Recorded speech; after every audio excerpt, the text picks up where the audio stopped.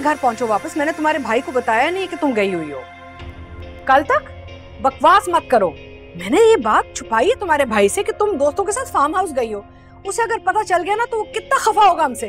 कभी भरोसा नहीं करेगा दोबारा। बहुत बुरा हो गया बेटा, बहुत बुरा। तुम्हारी अम्मी तुम्हारी अम्मी अल्लाह को प्यार